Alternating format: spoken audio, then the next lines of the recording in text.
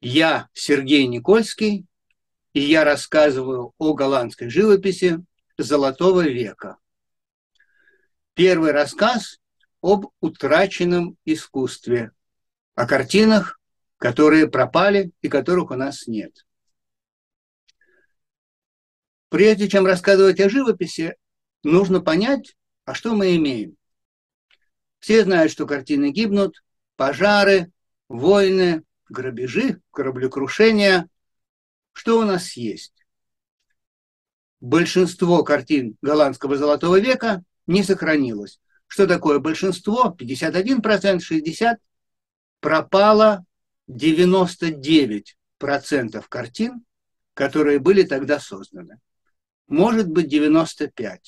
То есть у нас остался в худшем случае 1%, в лучшем случае 5% того, что когда-то называлось и сейчас называется голландской живописью. Только этот один процент мы можем любить или не любить. Про этот один процент мы можем писать статьи, книги, делать вот такие видео. И только этот один процент мы можем увидеть в музеях. Хотя тут тонкость. В музеях висит 1, 2, 3, 5 процентов того, что до нас дошло. То есть у нас крупица, у нас песчинка, и только когда мы на эту маленькую частичку смотрим, мы думаем, что мы знаем всю голландскую живопись. Из-за пожаров, плесени, из-за людского равнодушия погибли не только справедливо забытые портреты, натюрморты э, художников чернорабочих. Нет, погибли работы художников-генералов, Иногда от художника не осталось ничего. Мы знаем, что кто-то родился, учился, поехал в Италию, там э, у него был успех, вернулся, у него были ученики, он исполнял заказы, и ничего не осталось. И таких полностью пропавших не десятки, а сотни имен, и я говорю только про голландцев. И вот этот рассказ о пропавших картинах. Первым примером будет Карел Фабрициус, известный художник, его визитная карточка, что он был учеником Рембранта. Звучит гордо, но это не совсем так, потому что у Рембранта было очень много учеников. Оптимисты насчитывают 99, на самом деле было меньше. К нему ходили просто так поучиться рисовать у модного мастера. К нему ходили художники, чтобы научиться делать как Рембрандт, узнать его секреты и научиться продавать как Рембрандт. Иногда к нему шли уже состоявшиеся художники, например, Говард Флинк и Фердинанд Болл. Они на самом деле подражали Рембрандту, когда тот был моден, а когда тот вышел из моды, они стали писать по-другому, как требовала от них публика совсем немного художников, которые научились чему-то у Рембранта, а потом стали искать что-то свое. И как раз вот таким художником и был Карел Фабрициус.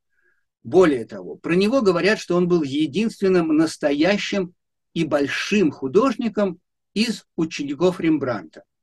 Некоторые даже говорят, что если бы он не погиб трагически во время пороховых, а, взрыва пороховых складов в Дельфте в возрасте 32 лет, если бы он не погиб, то, может быть, он превзошел бы мастера.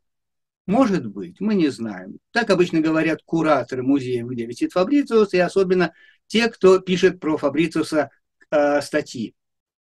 Но в любом случае, Фабрициус писал не по шаблону, он искал и нашел свое лицо, свой художественный язык, он самобытный и интересный художник. Итак, интересный художник, важный художник. Сколько картин дошло до нас? 12. Может быть, 13, может быть, 14. Про эти э, картины идут споры, но 12 всеми признаны. В 1981 году вышел каталог с его работами. Там было всего 8 работ. Прошло 40 лет. За 40 лет нашли еще четыре работы, получается, вот у нас за 10 лет находят одну работу мастера. Я перечислю тут эти картины. «Воскресенье Лазаря» из музея в Варшаве. Ранняя картина 1643 года. Художнику 21 год. Того же самого времени Гера из Пушкинского музея без подписи. 1645 год, через два года. Ангел и Агарь из Лейденской коллекции с подписью. Автопортрет из старой пинокотеки Мюнхена того же года. От подписи осталась одна буква. Следующий год, 1646, Меркурий подкупает Аглавру из Бостона с подписом. Тот же год Меркурий и Аргус из Лос-Анджелеса с подписью. Около 1647-48 годов автопортрет из Бойманса в Роттердаме подписан. 1649 год портрет Абрахама де Поттера из Риайкса подписан. Ну, портрет довольно скучный, рядовой портрет, тем не менее, это Фабрициус. 1652 год. Крошечный вид Дельфта из Лондона с подписью и датой. На самом деле этот вид Дельфта не картина. Это небольшая панель, которая использовалась для специального оптического ящика. Делались такие обманки, иллюзии объемные, когда в ящик по разным сторонам ставили специальные панельки, вставляли зеркала, и зритель смотрел в отверстие и, о чудо, видел объемные или интерьеры, или улицы. Фабрициус сделал несколько таких ящиков. И, наконец, три главные и самые совершенные работы датируют 1654 годом, годом смерти художника. Это знаменитый щегол из Гааги, из Марицхейса, подписанный. Картина стала знаменитым после романа «Тарт». Стражник из Шверина подписан. И автопортрет из Лондона подписан и датирован. Мы знаем про несколько работ Фабрициуса, которые были и пропали. Их больше нет. Итак, в старинных документах упоминаются портреты, эскизы голов, это так называемые трони, когда изображается не человек, а, например, голова старика, или же ребенок, или голова девушки, или голова солдата, голова цыганки. Пропали изображения гербов Дельфта. Художники должны были зарабатывать себе на хлеб и брали за любую работу. И вот Фабрициус исполнил такую декоративную живопись. Пропали иллюзионистские оптические ящички с интерьерами и видами городов, как я говорил. Это были не единственные обманки, которые Фабрициус писал. Он расписывал холсты для целых стен в богатых домах. И там были обманки перспективы улиц. Все это пропало.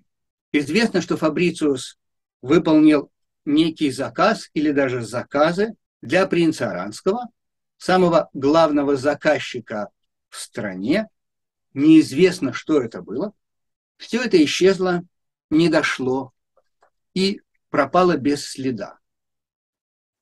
Есть работа, от которой остался небольшой след. В 1864 году сгорел музей Бойманс. И там погиб семейный портрет кисти Фабрициуса, огромная работа размером метр шестьдесят на два сорок, но маленький мальчик, которого звали Альфонс де Стерс, до пожара когда-то посетил этот музей, вернулся домой и нарисовал картину, которая ему больше всего понравилась, которая его впечатлила – и это была работа Фабрициуса. Альфон де Стерс никогда рисунку или живописи не учился.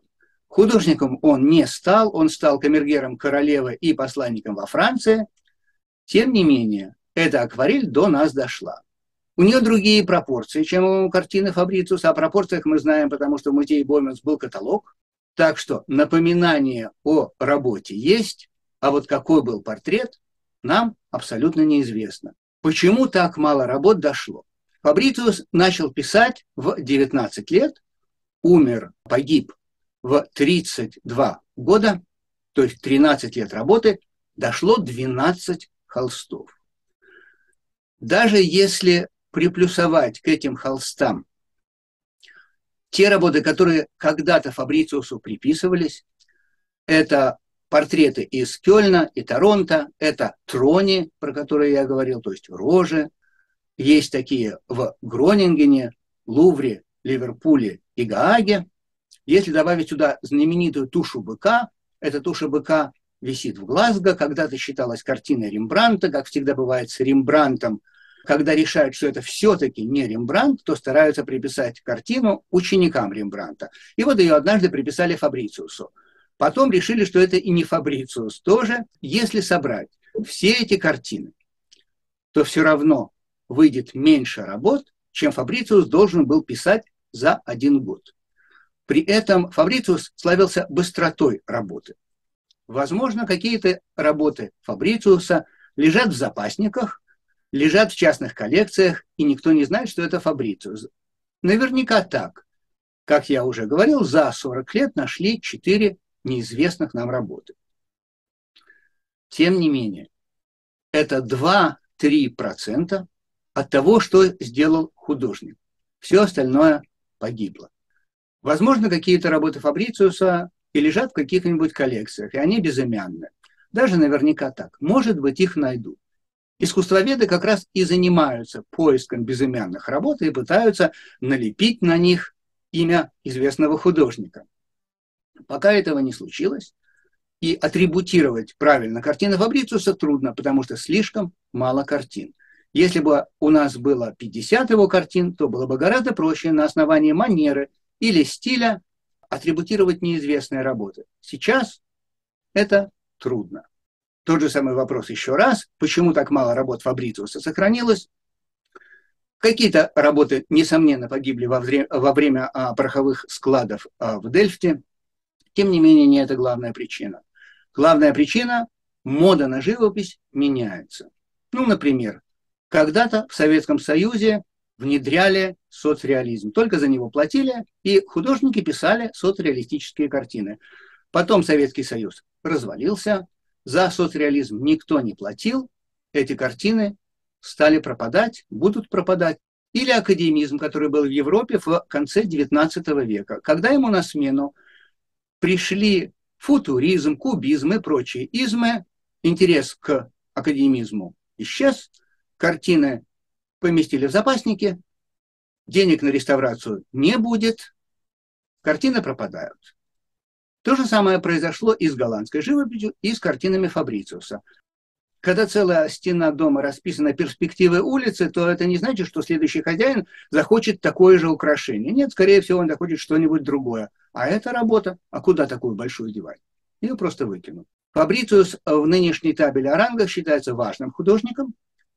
В 17 веке он был художником третьего ряда, однако же он все-таки был немного заметен, потому что заказ принца Аранского о многом говорит.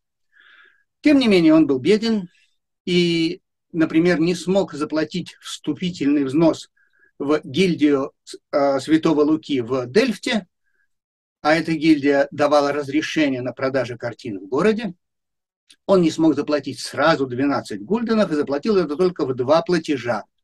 Что такое 12 гульденов? Это половина месячной зарплаты рабочего, квалифицированного. Не самой высокой квалификации, но все-таки. То есть Фабрициус жил от заказа к заказу и постоянно работал.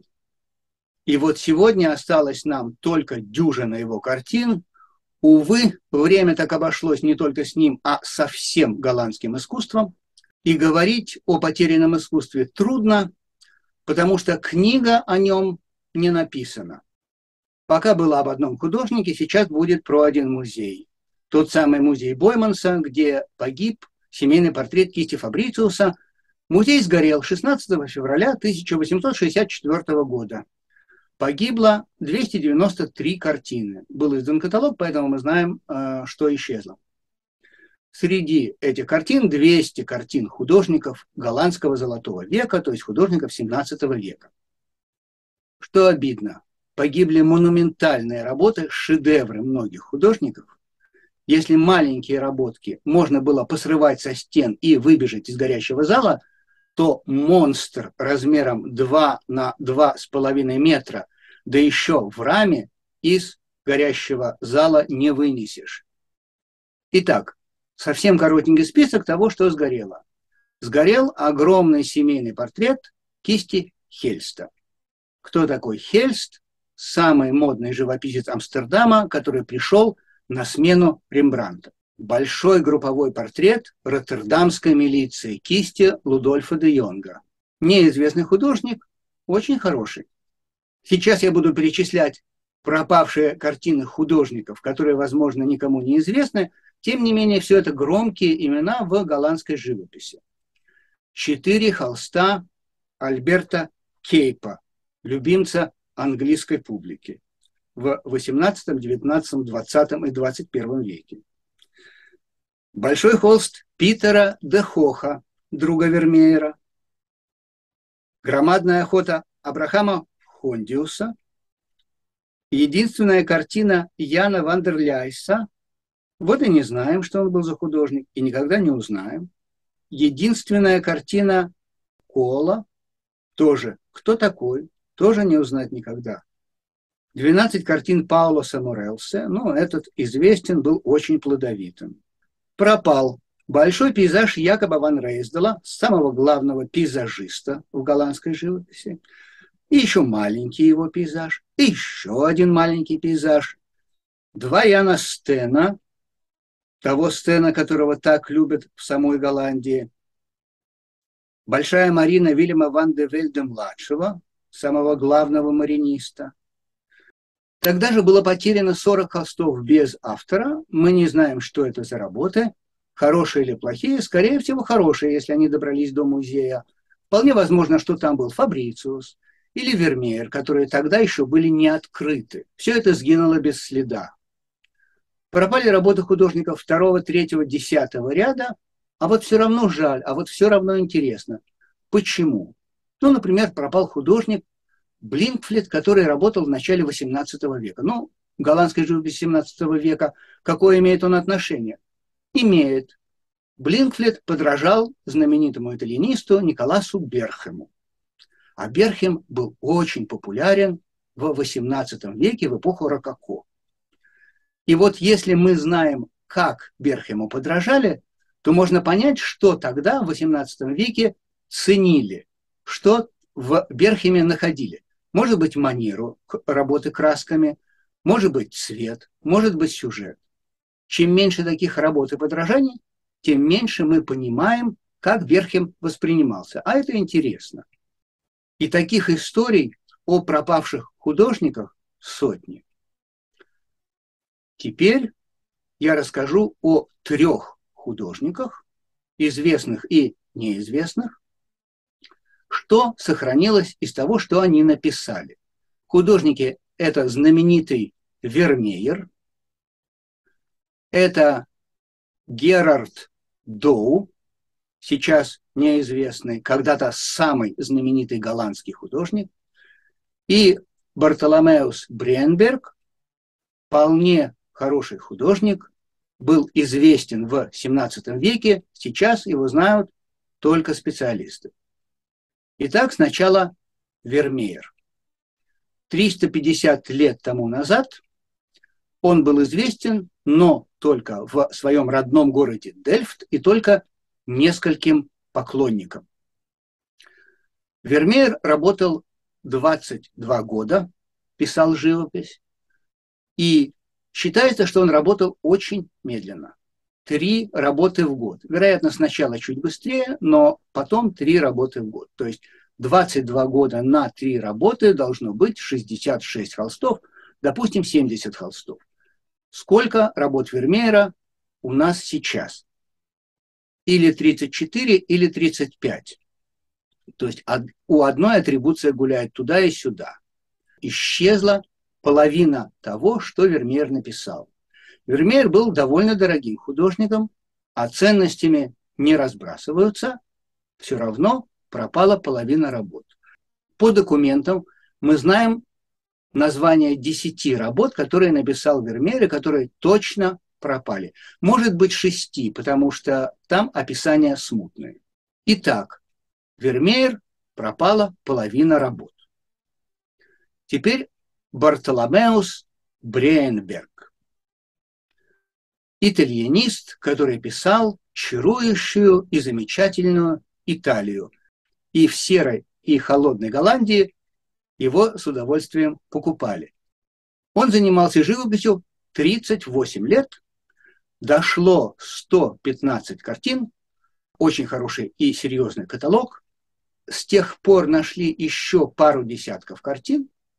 Все равно, если мы разделим картины на, количе- на количество лет, получается 4 работы в год. А должно быть 35 работ в год. Для художника такого уровня цен это а, норма, чтобы нормально зарабатывать себе на хлеб. Причем это работы проданные, а не только написанные. И еще интересно, первая работа Брейнберга, дошедшая до нас, датирована 1622 годом, а он начал писать в 1619 году. То есть первые три года его живописи нам неизвестно. То же самое можно сказать про многих других художников.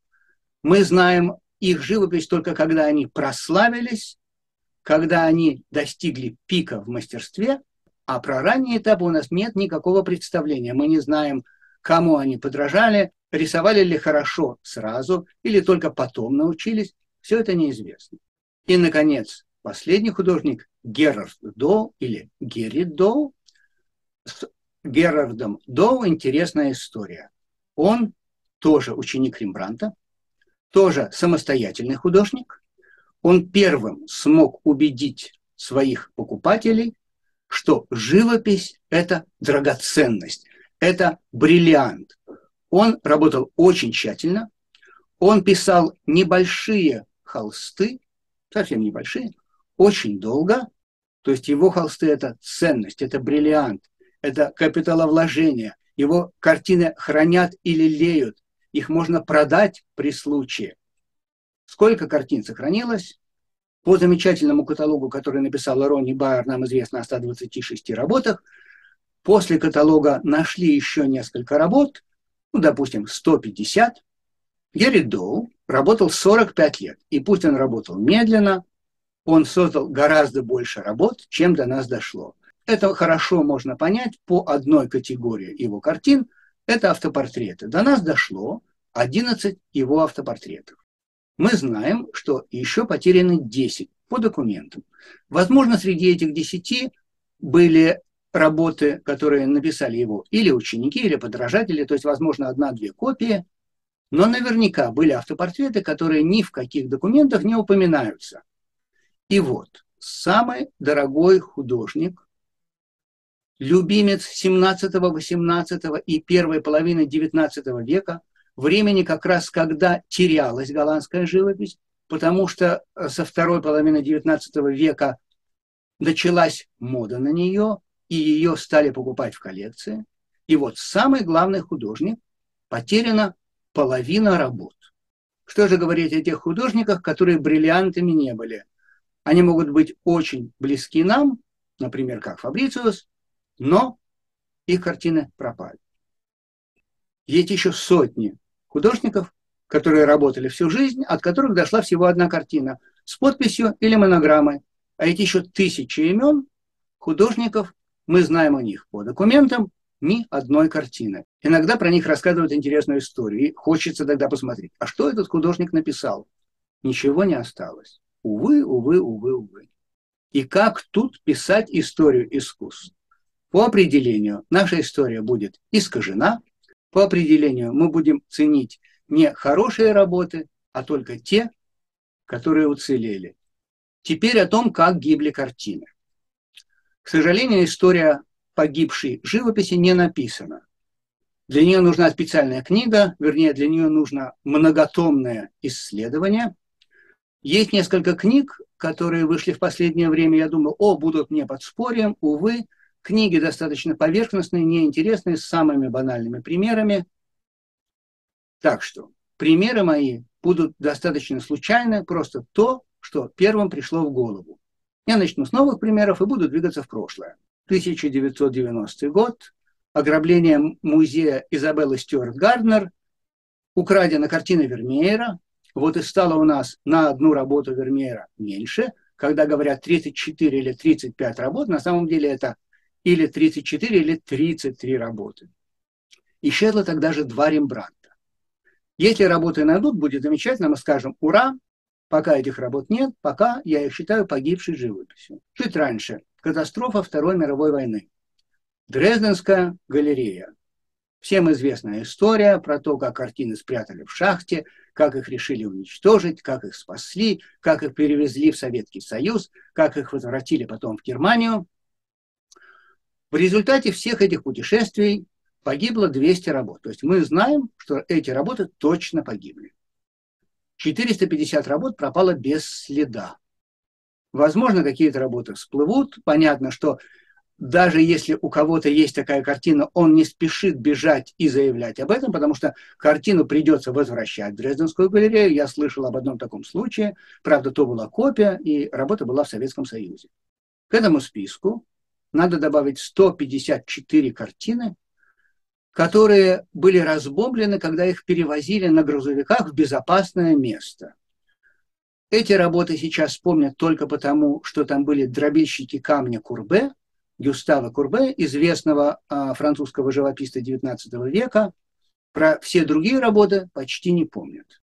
42 холста сгорели, когда разбомбили замок-резиденцию. Это было во время бомбардировок Дрездена.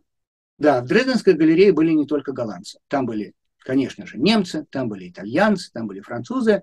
Тем не менее, голландских работ тоже погибло немало. Например, мы знаем о пяти Герардах Доу, про которого я говорил, которые утрачены. Картины, сгоревшие в последний день войны. Это были картины в замке Шлосс Имендорф, куда немцы свозили награбленное искусство со всей Европы. Сейчас об этом пожаре помню только из-за того, что там погиб Климт. Были ли там голландцы? Я не знаю. Берлин. Берлинский музей. Все понимают, что война, что будут бомбардировки, что картины надо сохранить. Их развозят по нескольким безопасным местам. Одно такое место за два дня до окончания войны. Начинается пожар, гибнут 433 картины. Там тоже погибли не только голландцы, но там было около 100 голландских холстов. Во время Второй мировой войны погибло несколько рембрантов, довольно много его рисунков. Это всего лишь несколько эпизодов Большой Европейской войны, и, увы, увы, увы, войны и пожары случались и до того. Например, город Лейден, один из центров голландской живописи XVII века. 1929 год полностью сгорает старинная мэрия со всем, что там было. Что это значит? Муниципалитет заказывал лучшим художникам большие дорогие картины. Художники старались, исполняли, и вот все сгорело, ничего не осталось.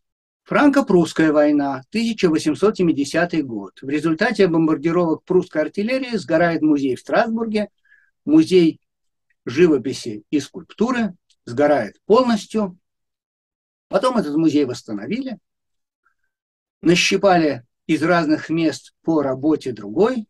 Э, в 1949 году музей сгорел снова. Часть работ удалось спасти, но часть погибла. То, что исчезло давным-давно, то, что исчезло недавно, воспринимается как ужасная катастрофа, как огромная потеря. То, что исчезло давно, про это все забывают. Ну, например, английский замок Бивер. Сейчас по нему ходят туристы и любуются на живопись, которая висит на стенах. Какая красота! В 1816 году замок сгорел. Погибло 120 холстов, в основном английская школа, Рейнольдс. Однако же погибли и голландские картины. Погибло снятие с креста, которое приписывалось Рембранту. Мы не узнаем, это Рембрандт или нет. Погибло две картины Франца Халса. Мы не знаем, что это были за картины. 1812 год. Все помнят война России с Наполеоном, Москва, пожар Москвы. Сохранились воспоминания французских офицеров, как они входят в роскошную усадьбу московской знати, видят богатство, видят картины на стенах, начинается пожар, все сгорает за один час, ничего не осталось. Ни одна усадьба так, много усадьб. Тот же самый год, та же самая Москва, тот же самый пожар, царский Слободской дворец. Опять-таки воспоминания. Из дворца выходят офицеры с картинами, свернутыми в рулон, то есть они их вырезали из рам, они, вероятно, знали, что это за картины, понимали ценность. Начинается пожар, дворец полностью сгорает с тем, что не успели оттуда украсть. Все картины, которые спасли, погибли во время отступления Наполеона из Москвы. Не только пожары, но и кораблекрушения. Екатерина Великая решает купить для Эрмитажа лучшие картины голландской школы. Ее посланники делают это, и в 1771 году корабль «Фрау Мария» везет картины из Голландии в Петербург. Около берегов Швеции корабль тонет, 24 работы погибло, среди них триптих Герарда Доу, одна из самых его знаменитых работ, а также Метсю, Поттер, Тербарх, ничего не осталось. Есть небольшая вероятность, что эти работы не погибли, потому что все знали, что такое морское путешествие, что такое сырость, что такое соль, и работы запаивали в специальные свинцовые ящики. Место кораблекрушения несколько десятилетий тому назад нашли. Однако же решили корабль не поднимать, потому что на груз претендовало бы три страны – Швеция, Россия и Голландия. И тяжба была не нужна никому. Так что эти работы, возможно, до сих пор на дне морском. Живопись гибла во все века по всей Европе. 1695 год, французы бомбардируют Брюссель, сгорает от 4000 до 5000 томов, там гибнет вся мебель, все драгоценности, все книги, все архивы и все картины. Живопись тогда была модной, она висела в домах. Наверняка там были и голландские мастера, очень жаль, были и фламандские мастера, тоже очень жаль, ничего не осталось. И, наконец, можно вспомнить взрыв в Дельфте. Вот картина последствий взрыва. Художник Эгберт ван дер Пул Картина написана в тот же самый год, то есть он видел, что там произошло. Была разрушена треть домов Дельфта, все, что там было, все картины, все искусство, все погибло. И теперь короткий рассказ о трех картинах. От них остались черно-белые фотографии. Это работы из Берлина, про которые я говорил, которые погибли за два дня до окончания войны. Вообще любая картина связано тысячи нитей с другими картинами, каждый художник связан с другими художниками. И когда таких художников тысяча, а картин сотни тысяч, то получается хор, который и называется школой живописи. И вот представьте, что был хор в тысячу человек, и из него ушло 990 человек. Итак, первый художник – это Вильям Бейтевех, который был график, от него осталось 10 картин. Наверняка картин было больше, но осталось вот даже меньше, чем у Фабрициуса. Эта картина ему приписывалась, то есть, может быть, это был он, может быть, это был не он, может быть, кто-то ему подражал, а может быть, это был другой художник, который писал в той же самой манере. Ни на какой из этих вопросов мы сейчас ответить не сможем. Картина пропала. По черно-белой фотографии понять ничего нельзя. Следующий художник вообще никому не известный, Ваутер Крабет-младший. Какие вопросы тут хочется задать и на какие вопросы нельзя получить ответ. Ваутер Крабет-младший был караваджистом и работал в Гауди. Другие же караваджисты, то есть те, кто подражал Караваджо, работали в Утрехте. И вот про утрехтских караваджистов мы знаем, а про караваджистов из Гауда не очень. Было бы интересно узнать, как на итальянского гения смотрели из двух разных углов, из Утрехта и из Гауды. Ответа на этот вопрос не будет. И, наконец, третья работа. Художник Геррит Хорст «Великодушие Сципиона». Огромнейший холст, 2,50 на 3,25. Был ли Хорст учеником Рембранта или просто копировал модного живописца? Было бы больше работ, мы бы поняли. Огромное полотно, важный и дорогой заказ.